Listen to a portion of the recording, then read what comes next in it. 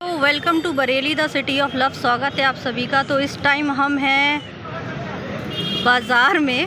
तो यहाँ से जैसे ही पुल बनना स्टार्ट हुआ, वैसे ही विरोध शुरू हो गया। सभी व्यापारी वर्ग के लोग आप देख सकते हैं कि धरना दे रहे हैं वहाँ पर। पूरी पीएसी तैनात कर दी गई है यहाँ पर और काफ़ी जमकर बवाल हो रहा है, जैसे ही यहाँ पर टूटना शुरू हुआ। तो आप लोग बताइए, क्या ये पुल बनना चाहिए या नहीं? और इस टाइम सभी लोग धरना धरना दे रहे हैं यहाँ पर। वहाँ से वहाँ तक पूरा बंद कर रखा है।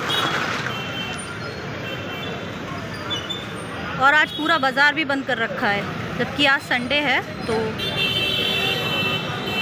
अब आगे देखते हैं कि क्या होता है, ये पुल बनता है कि नहीं बनता है। कुतुब खाना ओवर ब्रिज।